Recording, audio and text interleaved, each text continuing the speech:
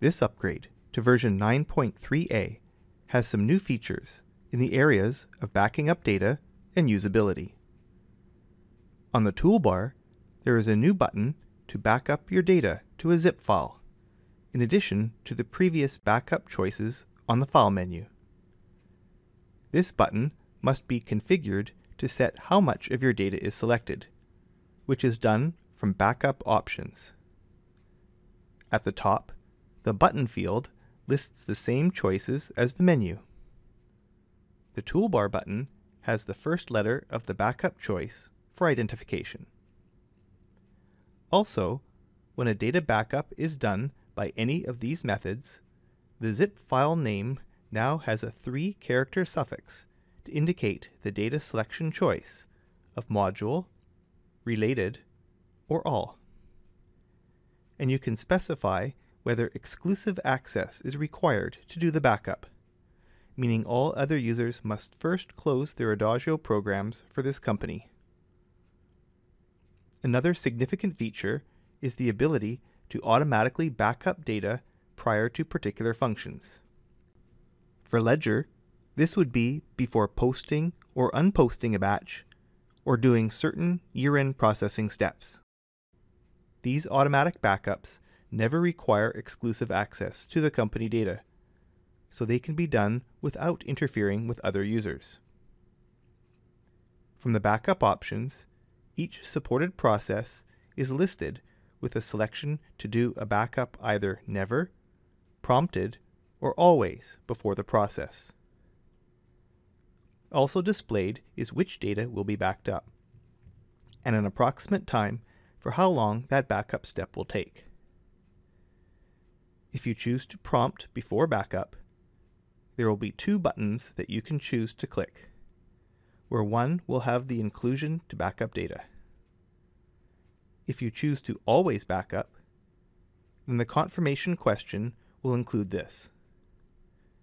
You can keep up to 99 automatic backups using a different numbering scheme than the regular backups above.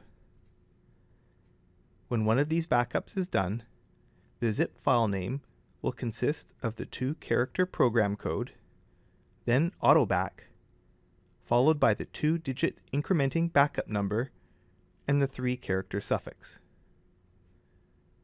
When this number reaches the maximum, the next backup number will reset to 1 and overwrite the previous file.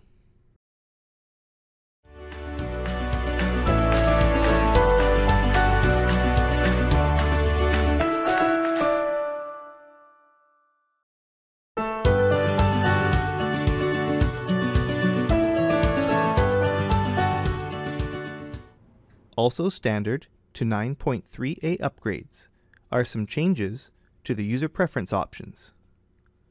In the application area, some options for toolbar and status bar display have been removed and all automatically set as enabled and non-optional. Replacing these are new options for preferences when double-clicking in numeric, date, or finder enabled fields. In previous versions, double-clicking in these field types would respectively open a calculator, a calendar, and a Smart Finder. Now you can choose to disable any or all of these and simply select the field contents when double-clicking, perhaps to easily overwrite the value.